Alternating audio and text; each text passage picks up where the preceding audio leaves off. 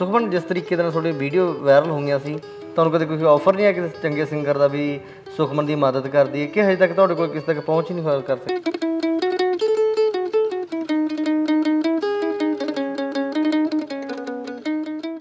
ਮੈਨੂੰ ਸ਼ੁਰੂ ਤੋਂ ਹੀ ਮੇਰੇ ਪਿਤਾ ਜੀ 9-10 ਸਾਲ ਦੀ ਉਮਰ ਹੁੰਦੀ ਸੀ ਮੇਰੀ। ਮੈਨੂੰ ਆਪਣੇ ਨਾਲ ਜਿਹੜੇ ਗਾਇਕੀ ਦੇ ਸ਼ੋਜ਼ ਹੁੰਦੇ ਨੇ, ਉਹਨਾਂ ਤੇ ਲੈ ਜਾਂਦੇ ਸੀ। ਕਿਹੜੀ ਕਲਾਸ ਪੜ੍ਹ ਰਹੇ ਸੀ ਪਲੱਸ 2 ਕਲਾਸ ਤੇ ਨਾਲ 뮤직 ਰੱਖਿਆ ਫਿਰ? ਮਿਊਜ਼ਿਕ ਰੱਖਿਆ ਐਡੀਸ਼ਨਲ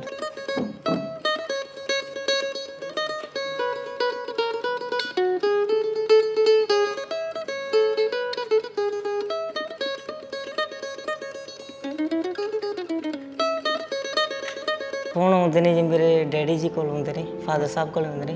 ਹੂੰ। ਹਾਂ ਉਹਨਾਂ ਨੂੰ ਕਹਿੰਦੇ ਜੀ ਲੋਕ ਵੀ ਮਤਲਬ ਗਾਇਕ ਕਹਿੰਦੇ ਨੇ ਜੀ ਸਾਡੇ ਨਾਲ ਭੇਜ ਦਿਓ।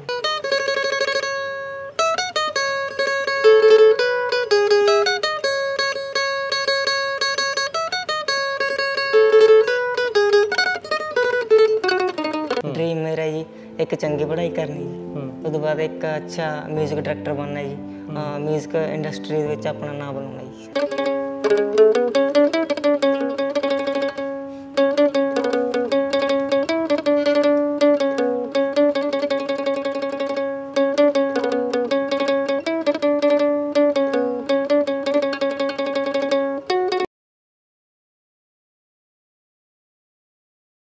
ਸਤਿ ਸ਼੍ਰੀ ਅਕਾਲ ਜੀ, ਤੁਸੀਂ ਦੇਖ ਰਹੇ ਹੋ ਲੋਕ ਰਾਏ ਟੀਵੀ, ਮੈਂ ਹਾਂ ਪਰਮਿੰਦਰ ਸਿੰਘ। ਹਰੇਕ ਖੇਤਰ ਦੇ ਵਿੱਚ ਕਲਾ ਹੁੰਦੀ ਹੈ ਤੇ ਕਲਾ ਦਾ ਕਦੇ ਕੋਈ ਮੁੱਲ ਨਹੀਂ ਹੁੰਦਾ। ਅਸੀਂ ਪਿਛਲੇ ਦਿਨਾਂ ਦੇ ਵਿੱਚ ਕਾਫੀ ਵੀਡੀਓ ਦੇਖੀਆਂ ਨੇ ਇੱਕ ਨੌਜਵਾਨ ਛੋਟੇ ਜਿਹੇ ਬੱਚੇ ਦੀਆਂ, ਜਿਹੜਾ ਕਿ ਇੱਕ ਗਿਟਾਰ ਵਜਾਉਂਦਾ ਹੈ ਤੇ ਉਹ ਗਿਟਾਰ ਨੇ ਬਾਹਰਲੇ ਐਨ ਆਰ ਆਈ ਵੀਰਾਂ ਨੂੰ ਵੀ ਕੀਲ ਕੇ ਰੱਖ ਦਿੱਤਾ ਹੈ।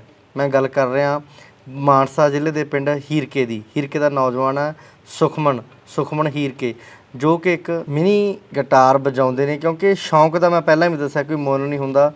ਸੁਖਮਨ ਦੇ ਘਰ ਦੇ ਤੁਹਾਨੂੰ ਅਸੀਂ ਘਰ ਵੀ ਦਿਖਾਇਆ ਕਿਸ ਤਰੀਕੇ ਦਾ ਸੁਖਮਨ ਦਾ ਪਰਿਵਾਰ ਹੈ। ਖੁਦ ਸੁਖਮਨ ਸਾਡੇ ਨਾਲ ਅੱਜ ਗੱਲਬਾਤ ਕਰਾਂਗੇ। ਛੋਟਾ ਜਿਹਾ ਨੌਜਵਾਨ ਹੈ ਜਿਨੇ ਕਿ ਇੱਕ ਵੱਖਰੀ ਖੇਤਰ ਦੇ ਵਿੱਚ ਨਵਿਕਲੀ ਖੇਤਰ ਦੇ ਵਿੱਚ ਇੱਕ ਪਹਿਲ ਕਦਮੀ ਕੀਤੀ ਹੈ। ਸੁਖਮਨ ਸਤਿ ਸ਼੍ਰੀ ਅਕਾਲ। ਸਤਿ ਸ਼੍ਰੀ ਅਕਾਲ ਕੀ ਹਾਲ ਹੈ? ਠੀਕ ਹੋ? ਹਾਂਜੀ ਵਧੀਆ ਪਹਿਲਾਂ ਤਾਂ ਸਵਾਗਤ ਹੈ ਤੁਹਾਡਾ ਲੋਕ ਰਾਏ ਟੀਵੀ ਦੇ ਉੱਤੇ। ਥੈਂਕ ਯੂ ਥੈਂਕ ਯੂ ਜਿਸ ਤਰੀਕੇ ਦਾ ਮੈਂ ਦੇਖ ਰਿਹਾ ਸੀ ਸੁਖਮਨ ਉਹਨਾਂ ਦਾ ਵਜਨ ਤੇਰੇ ਦੇ ਵਿੱਚ ਵੀ ਨਹੀਂ ਹੈਗਾ ਜਿੰਨਾ ਤੇਰੀ ਗਿਟਾਰ ਦੇ ਵਿੱਚ ਹੈ। ਹਾਂਜੀ। ਹਰੇਕ ਇਹ ਚੀਜ਼ ਕਹਿੰਦਾ ਜੀ। ਠੀਕ ਚੀਜ਼ ਕਹਿੰਦਾ? ਹਾਂਜੀ। ਜ਼ਿਆਦਾ ਟਾਈਮ ਦਿੰਦਾ ਤਾਂ ਕਰਕੇ ਨਾ। ਹਾਂਜੀ ਹਾਂਜੀ। ਅੱਛਾ ਸਭ ਤੋਂ ਪਹਿਲਾਂ ਇੱਕ ਵਾਰੀ ਸਾਨੂੰ ਸਾਡੇ ਦਰਸ਼ਕਾਂ ਨੂੰ ਬੁਝਾ ਕੇ ਕੋਈ ਵੀ ਜਿਸ ਦੇ ਨਾਲ ਸੁਖਮਨ ਨੂੰ ਹਰੇਕ ਬੱਚਾ ਬੱਚਾ ਜਾਣ ਲੱਗਿਆ ਸੀ ਉਹ ਉਹ ਜਿਹੜੇ ਹੈਗੇ ਤੁਹਾਨੂੰ ਸਾਨੂੰ ਸੁਣਾ ਕੇ ਜ਼ਰੂਰ ਦਿਓ। ਹਾਂਜੀ ਜ਼ਰੂਰ।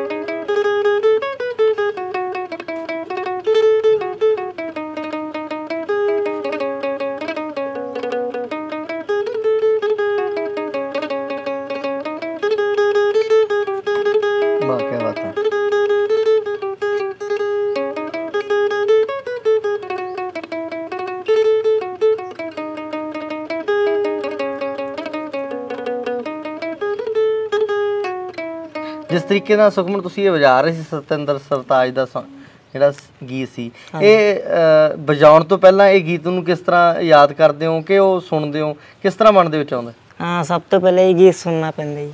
ਹਾਂ। ਉਹ ਤਾਂ ਸਵਰ ਦੇਖਣਾ ਪੈਂਦਾ ਜੀ ਸੁਰ ਦੇਖਣਾ ਪੈਂਦਾ ਸਕੇਲ ਦੇਖਣਾ ਪੈਂਦਾ ਜੀ। ਹੂੰ। ਤਾਲ ਦੇਖਣਾ ਪੈਂਦਾ ਜੀ। ਹੂੰ। ਕੰਪੋਜੀਸ਼ਨ ਦੇਖਣੀ ਪੈਂਦੀ ਕਿਹੜੇ ਰਾਗ 'ਚ ਜੀ। ਹੂੰ। ਉਸ ਤੋਂ ਬਾਅਦ ਗਾਣਾ ਬਣਦਾ। ਫਿਰ ਇਹ ਤੇ ਸਟੱਡੀ ਵੀ ਕਰਨੀ ਪੈਂਦੀ ਇਸ ਚੀਜ਼ ਤੇ? ਇਸ ਤੇ ਪ੍ਰੈਕਟੀਕਲ ਹੁੰਦਾ ਜੀ ਸਟੱਡੀ ਵੀ ਕਰਦੇ ਨੇ ਕਿ ਲੋਕ। ਹੂੰ। ਪਰ ਇਹ ਜਿਹੜਾ ਤੁਸੀਂ ਦੇਖ ਰਹੇ ਹੋ ਪ੍ਰੈਕਟੀਕਲ ਦਾ ਨਤੀਜਾ ਜੀ ਪ੍ਰੈਕਟੀਕਲ ਜੀ। ਜ਼ਿਆਦਾ ਫਿਰ ਅਮ, ਦਿਮਾਗ ਦੇ ਉੱਤੇ ਉਹ ਗੱਲ ਲੈ ਕੇ ਆਉਣੀ ਪੈਂਦੀ ਹੈ, ਸੋਚਣਾ ਪੈਂਦਾ ਉਹਨੂੰ ਕਿਸ ਤਰੀਕੇ ਨਾਲ ਉਹ Song ਪਲੇ ਕਰ ਰਹੇ ਨੇ। ਉਹੀ ਤੁਸੀਂ ਆਪਦੀ ਮਾਈਂਡ ਦੇ ਵਿੱਚ ਸੈੱਟ ਕਰਦੇ ਹੋਵੋਗੇ ਫੇਰ ਹੀ ਵਜਾਉਂਦੇ ਹੋਵੋਗੇ? ਹਾਂਜੀ ਯਾਦ ਕਰਨਾ ਪੈਂਦਾ ਸੈੱਟ ਕਰਨਾ ਪੈਂਦਾ ਜੀ। ਹੂੰ।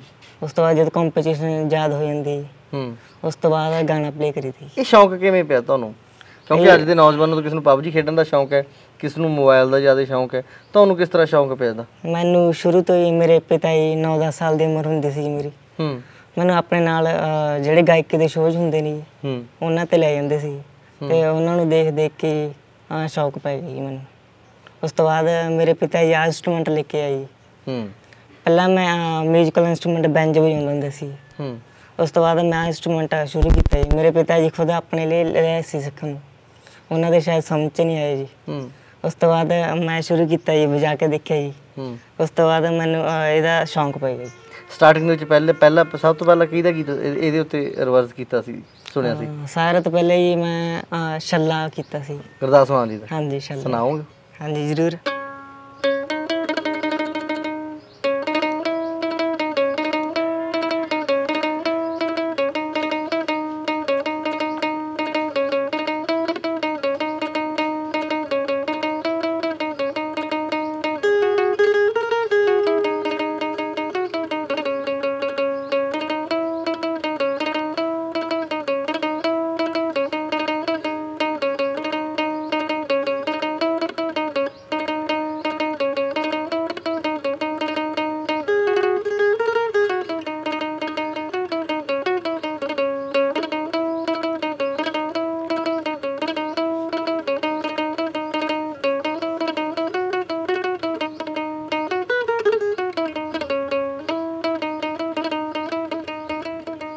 ਕਿਆ ਬਾਤ ਇਹ ਫਿਰ ਇਸ ਤਰੀਕੇ ਦੇ ਨਾਲ ਹੱਥ ਵੀ ਦੁਖਣ ਲੱਗ ਜਾਂਦੇ ਹੋਣਗੇ।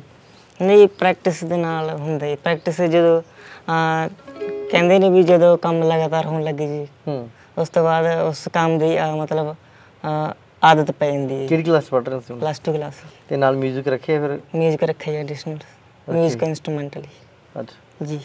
ਫਿਰ ਯਾਦ ਆ ਫਿਰ ਟਾਈਮ ਕਦੋਂ ਰਹਿੰਦੇ ਕਿ ਸਾਰਾ ਦਿਨ ਹੀ ਵਜਾਉਂਦੇ ਰਹਿੰਦੇ ਹੋ? ਨਹੀਂ ਸਾਰਾ ਦਿਨ ਨਹੀਂ ਜੀ ਪੜ੍ਹਾਈ ਨੂੰ ਵੀ ਟਾਈਮ ਦੇਣਾ ਚਾਹੀਦਾ ਹੈ।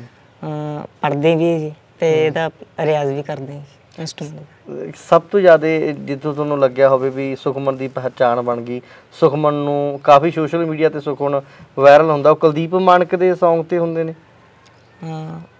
ਜਦੋਂ ਤੁਸੀਂ ਕਾਫੀ ਤੁਹਾਡੀ ਸੋਸ਼ਲ ਮੀਡੀਆ ਤੇ ਇੱਕ ਮੈਂ ਦੇਖਦਾ ਸੀ ਵੀਡੀਓ ਵਾਇਰਲ ਹੋਈ ਸੀ। ਹਾਂਜੀ। ਉਹ ਕਿਹੜੇ ਗੀਤ ਦਾ ਸੀਗੀ ਜਿੱਥੇ ਵਾਇਰਲ ਹੋਈ ਤੁਹਾਨੂੰ ਮੈਂ ਦੇਖਿਆ ਤੁਹਾਡੇ ਪੇਜ ਤੇ ਵੀ ਦੇਖਿਆ ਸੀ ਤੇ ਕਾਫੀ ਲੋਕਾਂ ਨੇ ਵੀ ਬਹੁਤ ਦੇਖਿਆ ਉਹ। ਹਾਂਜੀ ਕੁਲਦੀਪ ਮਾਨਕ ਸਾਹਿਬ ਜੀ ਦਾ Song ਸੀ। ਜੀ। ਉਹ ਜ਼ਿਆਦਾ ਵਾਇਰਲ ਹੁੰਦੇ ਨੇ ਜੀ। ਅੱਛਾ ਉਹ ਉਹ ਵੀ ਸੁਣਾ ਦਿਓ।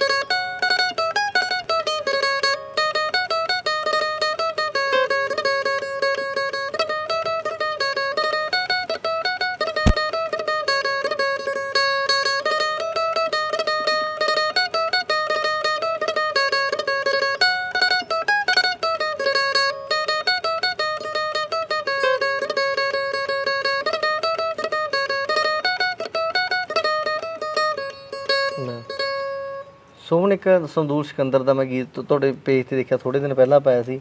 ਉਹ ਵੀ ਬਹੁਤ ਜ਼ਿਆਦਾ ਚੱਲਿਆ। ਉਹ ਕਿਸ ਤਰੀਕੇ ਦੇ ਨਾਲ ਤੁਹਾਨੂੰ ਪਤਾ ਲੱਗੇ ਪਿਛਲੇ ਫਿਰ ਯਾਦ ਕੀਤਾ ਫਿਰ ਉਹ ਇਹਦੇ ਉੱਤੇ ਰਿਵਾਈਜ਼ ਕੀਤਾ? ਹਾਂਜੀ ਯਾਦ ਕਰਨਾ ਪੈਂਦਾ ਜੀ ਪਹਿਲਾਂ।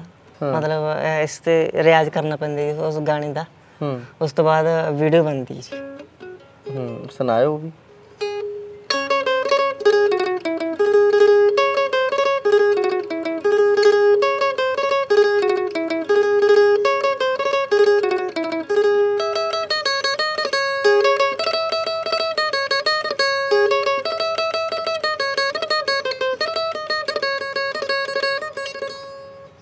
ਸੁਖਮਨ ਜਿਸ ਤਰੀਕੇ ਦੇ ਨਾਲ ਤੁਹਾਡੀ ਵੀਡੀਓ ਵਾਇਰਲ ਹੋਈਆਂ ਸੀ ਤੁਹਾਨੂੰ ਕਦੇ ਕੋਈ ਆਫਰ ਨਹੀਂ ਆਇਆ ਕਿਸੇ ਚੰਗੇ ਸਿੰਗਰ ਦਾ ਵੀ ਸੁਖਮਨ ਦੀ ਮਦਦ ਕਰਦੀ ਹੈ ਕਿ ਹਜੇ ਤੱਕ ਤੁਹਾਡੇ ਕੋਲ ਕਿਸੇ ਤੱਕ ਪਹੁੰਚ ਨਹੀਂ ਹੋਇਆ ਕਰ ਸਕੇ? ਹਾਂ ਫੋਨ ਆਉਂਦੇ ਨੇ ਜੀ ਮੇਰੇ ਡੈਡੀ ਜੀ ਕੋਲ ਆਉਂਦੇ ਨੇ ਫਾਦਰ ਸਾਹਿਬ ਕੋਲ ਆਉਂਦੇ ਨੇ। ਹੂੰ। ਉਹਨਾਂ ਨੂੰ ਕਹਿੰਦੇ ਜੀ ਲੋਕ ਵੀ ਮਤਲਬ ਗਾਇਕ ਕਹਿੰਦੇ ਨੇ ਜੀ ਸਾਡੇ ਨਾਲ ਭੇਜ ਦਿਓ। ਹੂੰ। ਪਰ ਉਹ ਕਹਿੰਦੇ ਨੇ ਜੀ ਪਹਿਲਾਂ ਵੀ ਸੁਖਮਨ ਵਾਲੇ ਸਟੱਡੀ ਕਰ ਰਹੇ ਜੀ। ਹੂੰ। ਇਸ ਕਰਕੇ ਕਹਿੰਦੇ ਵੀ ਪਹਿਲਾਂ ਸਟੱਡੀ ਜ਼ਰੂਰੀ ਹੈ ਉਸ ਤੋਂ ਬਾਅਦ ਇਹ ਕੰਮ ਤਾਂ ਜਦੋਂ ਮਰਜ਼ੀ ਕਰ ਲਈ ਕਈ ਵਾਰ ਤੁਹਾਡੇ ਫਾਦਰ ਸਾਹਿਬ ਨੇ ਇਹ ਨਹੀਂ ਕਿਹਾ ਵੀ ਮੈਂ ਕੀ ਖੱਟ ਲਿਆ ਵੀ ਸੁਖਮਨ ਤੂੰ ਕੋਈ ਹੋਰ ਕੰਮ ਦੇਖ ਲੈ ਕੋਈ ਸਰਕਾਰੀ ਨੌਕਰੀ ਤਿਆਰੀ ਕਰ ਲੈ ਕੋਈ ਟੈਸਟ ਦੀ ਤਿਆਰੀ ਕਰ ਲੈ। ਹਾਂਜੀ ਕਹਿੰਦੇ ਨੇ ਜੀ ਵੀ ਮੈਂ ਇਸ ਫੀਲਡ 'ਚ ਆ ਕੇ ਕੀ ਮਤਲਬ ਖੱਟਿਆ ਜੀ। ਹੂੰ। ਪਰ ਮੈਂ ਚਾਹੁੰਦਾ ਜੀ ਮੈਂ ਇੱਕ ਚੰਗਾ ਪੜ੍ਹ ਲਿਖ ਕੇ ਇੱਕ ਚੰਗਾ ਮਿਊਜ਼ਿਕ ਡਾਇਰੈਕਟਰ ਬਣਾ ਜੀ। ਹੂੰ। ਹਾਂਜੀ। ਕੰਬੀਨੇਸ਼ਨ ਫਿਰ ਸਾਰੀਆਂ ਕਦੇ ਕਦੇ ਆਪਣੇ ਕੋਲ ਵੀ ਤਿਆਰ ਕਰ ਹੋ? ਹਾਂਜੀ ਆਪਣੇ ਕੋਲ ਵੀ ਕਰ ਲੈਂਦੇ ਹਾਂ। ਜਿੱਦੇ ਥੋੜੀ ਦਿੱਕਤ ਹੁੰਦੀ ਉਹਦੇ ਫਾਦਰ ਸਾਹਿਬ ਹੈਗੇ ਨੇ ਜੀ ਮੇਰੇ। ਹੂੰ। ਉਹਨਾਂ ਤੋਂ ਸਿੱਖ ਲੈਂਦੇ। ਉਹਨੂੰ ਸਿੱਖ ਲੈਂਦੇ। ਜੀ। ਇਹ ਫਿਰ ਕਈ ਵਾਰ ਇਸ ਤਰ੍ਹਾਂ ਹੀ ਹੁੰਦਾ ਵੀ ਤੁਸੀਂ ਯਾਦੇ ਉਸ ਤੇ ਹੀ ਤੋਂ ਬ- ਲੱਗਿਆ ਰਹਿੰਦਾ ਵੀ ਮੈਂ ਬਜਾਈ ਚੱਲਾਂ ਬਜਾਈ ਚੱਲਾਂ। ਕਿ ਇਸ ਤਰ੍ਹਾਂ ਹੋਇਆ? ਹਾਂਜੀ ਬਹੁਤ ਵਾਰੀ ਹੋਈ ਜੀ ਅੱਛਾ। ਹਾਂਜੀ ਕਈ ਵਾਰ ਮਤਲਬ ਲਗਨ ਹੋ ਜਾਂਦੀ ਬਹੁਤ ਸਾਰੀ। ਹਾਂ। ਪਤਾ ਨਹੀਂ ਲੱਗਦਾ ਟਾਈਮ ਦਾ ਉਸ ਲਗਨ ਦੇ ਵਿੱਚ ਇੱਕ ਕੋਈ ਹੋਰ ਸੁਣਾ ਦਿਓ ਸਾਨੂੰ। ਹਾਂਜੀ ਸੁਣਾ ਦਿੰਦੇ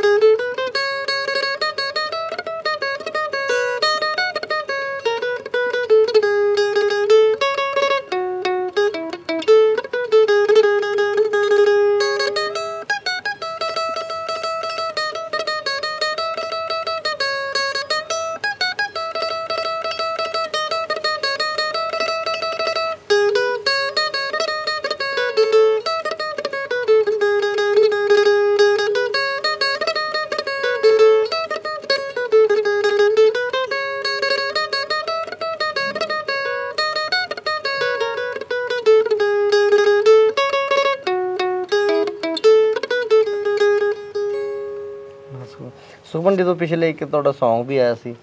ਉਹਦੇ ਨਾਲ ਕੋਈ ਆਰਥਿਕ ਤੌਰ ਤੇ ਤੁਹਾਡੀ ਮਦਦ ਹੋਈ ਸੀ ਉਹ? ਹਾਂਜੀ ਵੈਸੇ ਤਾਂ ਜਿਹੜੇ ਫੋਰਨ ਦੇ ਵਿੱਚ ਹੀ ਜਿਹੜੇ ਲੋਕ 뮤직 ਨੂੰ ਪਿਆਰ ਕਰਨ ਵਾਲੇ ਨੇ ਉਹਨਾਂ ਨੇ ਮੇਰੀ ਬਹੁਤ ਹੈਲਪ ਕੀਤੀ ਉਹਨਾਂ ਕਿਸ ਰੂਪ ਦੇ ਵਿੱਚ ਕੀਤੀ? ਕੋਈ ਕੋਈ ਪੜ੍ਹਾਈ ਲਿਖਾਈ ਦੇ ਉਹਨੇ ਵੀ ਤੂੰ ਸਗੋਂ ਪੜ੍ਹ ਲਾ ਅਸੀਂ ਤੇਰੇ ਤੇ ਤੇਰੀ ਫੀਸ ਵਗੈਰਾ ਪੇ ਕਰਾਂਗੇ। ਹਾਂਜੀ ਉਹ ਕਹਿੰਦੇ ਨੇ ਜੇ ਕੋਈ ਕਿਸੇ ਚੀਜ਼ ਦੀ ਲੋੜ ਹੋਈ ਕਿਸੇ ਪੜ੍ਹਾਈ ਦੇ ਪੱਖ ਤੋਂ ਹੀ। ਹਾਂ। ਤਾਂ ਉਹ ਕਹਿੰਦੇ ਨੇ ਉਹਨਾਂ ਨੇ ਮੈਨੂੰ ਇੱਕ ਮਿਊਜ਼ੀਕਲ ਇਨਸਟਰੂਮੈਂਟ ਹੈ ਮੈਂਡੋਲਿਨ ਹੁੰਦਾ ਜੀ। ਹੂੰ। ਸਾਡੇ ਬਹੁਤ ਹੀ ਸਤਿਕਾਰਯੋਗ ਅਮਰਜੀਤ ਜੀ ਜੁੱਕੇ ਤੋਂ। ਉਹਨਾਂ ਨੇ ਮੈਨੂੰ ਮੈਂਡੋਲਿਨ ਅਤੇ ਇੱਕ ਹਾਰਮੋਨੀਅਮ ਗਿਫਟ ਕੀਤਾ ਜੀ। 47 ਸਾਹਿਬ ਨਾਲ ਤੁਹਾਡੀ ਹੁਣ ਕਦੇ ਮੁਲਾਕਾਤ ਹੋ ਜੀਗੀ ਕਦੇ? ਨਹੀਂ ਹੁਣ ਤਾਂ ਨਹੀਂ ਹੋਈ ਜੀ ਗੀਤ ਵੇਲੇ ਹੋਈ ਸੀ। ਅਜੇ ਤੋਂ ਬਾਅਦ ਉਹਨਾਂ ਨੇ ਤੁਹਾਡੇ ਤੱਕ ਆਉਣ ਦੀ ਕੋਈ ਕੋਸ਼ਿਸ਼ ਵੀ ਨਹੀਂ ਕੀਤੀ? ਜੀ ਨਹੀਂ। ਹੂੰ। ਸੁਖਮਨ ਫਿਰ ਜਦੋਂ ਤੁਸੀਂ ਵਜਾਉਂਦੇ ਰਹਿੰਦੇ ਹੋ ਕਈ ਵਾਰ ਆਂਢ ਗੁਆਂਢ ਦੇ ਲੋਕ ਆ ਜਾਂਦੇ ਨੇ ਕਦੇ ਤੁਹਾਨੂੰ ਸੱਥ 'ਚ ਬੁਲਾ ਦੇ ਸੁਖਮਨ ਸਾਨੂੰ ਵੀ ਸੁਣਾ ਜਾ ਤੂੰ ਘੜੀਆਂ। ਹਾਂਜੀ ਐਂ ਤਾਂ ਆ ਜਾਂਦੇ ਨੇ ਜੀ ਕਦੇ ਕਦੇ ਜਦੋਂ ਬੈਂਚ ਜਦੋਂ ਫੈਂਪਰ ਫੇਅਰ ਤੇ ਲਈ ਸ਼ੋ ਦੀ ਆਵਾਜ਼ ਜ਼ਿਆਦਾ ਹੁੰਦੀ ਹੈ ਜੀ। ਅੱਛਾ। ਕਈ ਵਾਰ ਸੁਣ ਕੇ ਗਵਾਂਢ ਵੀ ਆ ਜਾਂਦੇ ਨੇ ਜੀ। ਅਸੀਂ ਫਿਰ ਤੁਹਾਨੂੰ ਆਫਰ ਕਰਦੇ ਨੇ? ਵੀ ਆਹ ਸੁਣਾ ਦੇ ਆਹ ਸੁਣਾ ਦੇ। ਹਾਂਜੀ ਕਹਿੰਦੇ ਨੇ ਜੀ ਬਹੁਤ ਕਹਿੰਦੇ ਸਭ ਜਿਆਦੇ ਪਰਿਵਾਰ ਦੇ ਵਿੱਚ ਕਿਹੜੀ ਤੁਹਾਡੀ ਤੁਹਾਨੂੰ ਪਸੰਦ ਨੇ? ਪਰਿਵਾਰ ਦੇ ਵਿੱਚ ਹਾਂ? ਜੇ ਤੁਹਾਨੂੰ ਲੱਗਦਾ ਵੀ ਮੈਂ ਪਰਿਵਾਰ ਦੇ ਵਿੱਚ ਬੈਠਾ ਵਜਾਈ ਜਾਵਾਂ ਤੇ ਘਰੇ ਦਾਦਾ ਦਾਦੀ ਨੇ ਕਹਿੰਦਾ ਵੀ ਤੂੰ ਸੁਣਾਈ ਚੱਲ। ਹਾਂਜੀ। ਕਿਹੜੀ ਉਹ? ਹਾਂਜੀ ਉਹ ਸੁਣ ਸੁਣਾਉਣਾ ਜੀ।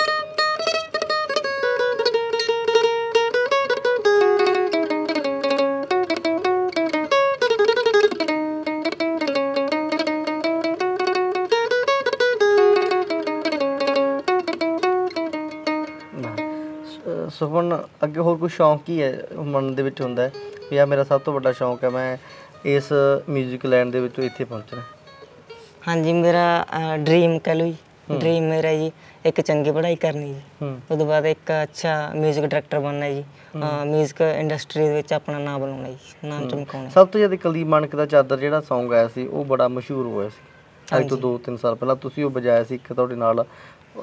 ਨਾਮ ਕੀ ਨਾਮ ਸੀ ਉਹ ਹਾਂ ਉਹ ਸੀਗੇ। ਉਦੋਂ ਵੀ ਤੁਸੀਂ ਇਸ ਦੀ ਉਦੋਂ ਵਜਾਉਂਦੇ ਸੀਗੇ? ਹਾਂਜੀ ਆਹੀ ਇਨਸਟਰੂਮੈਂਟ ਤੇ ਵੀ ਜੀ ਅੱਛਾ ਚਾਦਰ Song ਸੀ ਉਹ? ਹਾਂਜੀ ਉਹ ਚੱਲਦੇ ਵੀ ਸੁਣਾਇਓ। ਹਾਂਜੀ।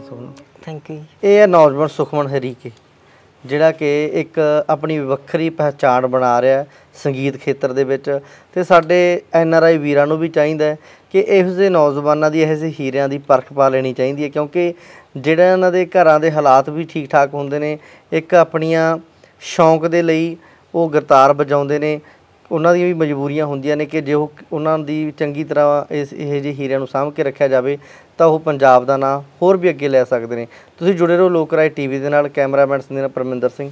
ਧੰਨਵਾਦ।